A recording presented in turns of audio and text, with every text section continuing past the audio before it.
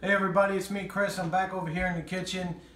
DiGiovanna Family Recipes. If you want to subscribe to my channel on YouTube, you'll get updates every time I make a new video. Today I'm going to show you how to make roasted peppers. And if you've ever had the one in the jar, you know, they're okay, but when you have the real deal and you make it at home yourself, it's a thousand times better. You won't believe it. Uh, and it's something that I grew up with. My mother made it uh, almost every single Sunday uh, with Sunday dinner. So I'm going to show you how she did it. Uh, we'll roast them in the oven and we'll finish them with some garlic and oil. So um, let me show you the first step. I got some bell peppers here. All right, I got a pan. I put some foil on there. All right, just to make it easier to clean up. I'm just going to put a little bit of non-stick spray there. And that's it. I'll just put the peppers on the pan. And now what I'm going to do is I got the oven set to broil. Okay, so that's the highest temperature on the top part. I got the rack moved up towards the top. I'm to put these peppers in there and really let them get blackened. And uh, really, it's one of the only dishes you can make where it's good to burn it. You really want to burn off the skin. So I'm to put them in the broiler. I'm to let that skin get really black and charred, and I'll check them, and then I'll flip them and turn them and I'll keep doing that until the whole entire all four of these peppers are completely black charred and I'll show you what to do after that. Alright so about 10-15 minutes this is what you're looking for. Nice black charred skin.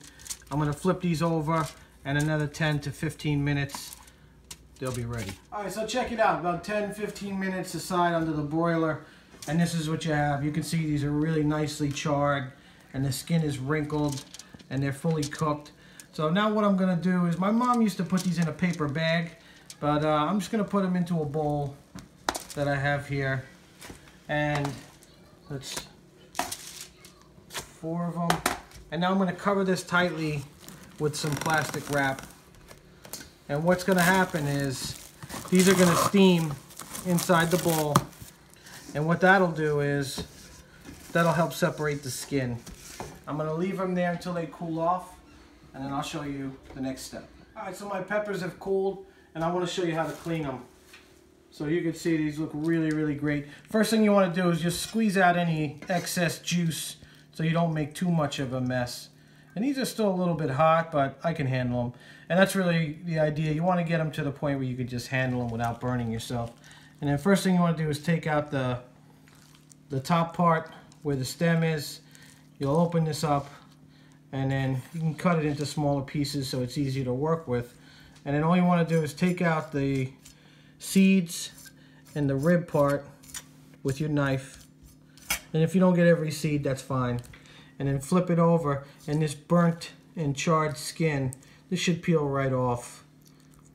And if you need some help with your knife, just kind of scrape it and it'll come up for you like this. And again, I mean, it's not a perfect science. If you, if you get a little piece of the skin on there, it's perfectly fine. It's not a problem at all. Um, but I'll try and get most of it off. And then what you can do is you could either cut it or, you know, like my sister Angie, she does these. She just peels it with her hands like this, puts it into nice strips, and you can just put it right into your bowl. Alright, so my roasted peppers are all cleaned and I, and, in, and I cut them into nice strips. And you could just serve them just like this, but uh, I'm going to show you how I like to finish them. I got one clove of garlic here. I'm just going to cut the end off and lightly tap it to loosen up the paper. I want to keep this whole and just peel it. So my garlic clove is peeled, and this is a big one, so I'm just going to cut it. I'm going to cut it in half. But what I want to do is, I want really nice paper thin slices of garlic. So I'm just going to cut them as thin as I possibly can.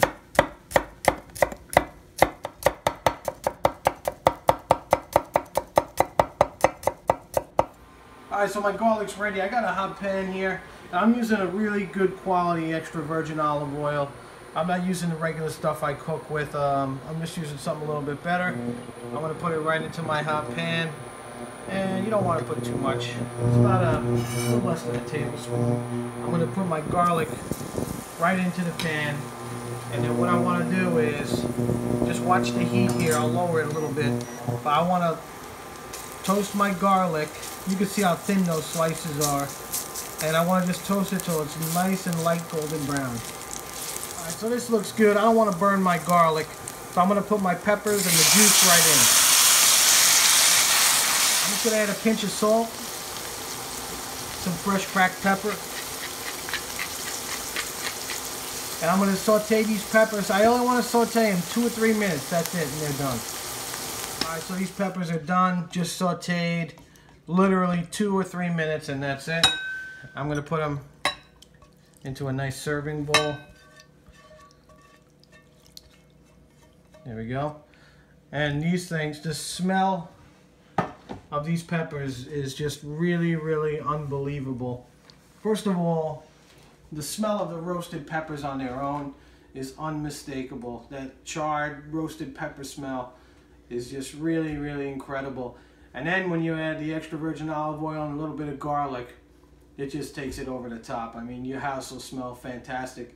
I want to show you one of the ways I like to serve these. All right, so I got some nice fresh mozzarella here. I'm going to cut this into about quarter inch slices. Okay, I'll put this right into my serving plate here. I'm going to take some of my roasted peppers. And this is great in the winter when you really, you know, it's, it's, it's very like a, a caprese salad, but in the winter you can't get tomatoes. So I always make roasted peppers when I serve fresh mozzarella. I'll put the peppers, I'll mound them right in the middle. And I got some of my beautiful, uh, this is my homemade balsamic glaze. You can get the recipe on my channel. And I'm going to drizzle this right over the top. And there you have it. Alright, time to give this a try. Get a nice piece of the mozzarella. And of course the roasted peppers.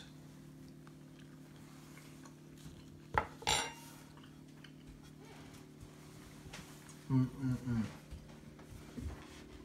That is so good.